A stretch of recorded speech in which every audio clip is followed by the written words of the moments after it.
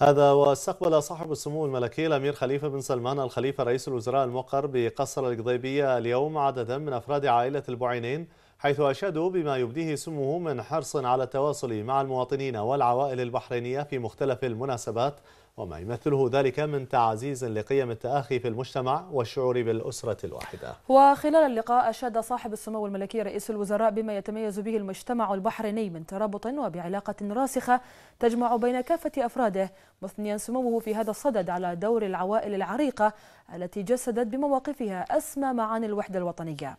ونوه سموه بالدور البارز والفاعل لرجالات البحرين والعوائل البحرينية في مسيرة العمل الوطني ومنها عائلة البعينين التي لها إسهامات واضحة في الشأن الوطني والاجتماعي. وقال سموه إن العوائل البحرينية شكلت ومنذ انطلاقة النهضة الأولى في البحرين دافعا للحكومة للانطلاق نحو بناء الدولة الحديثة ولا يزال عطاء هذه العوائل ممتدا في مختلف أصعدة المسيرة الوطنية.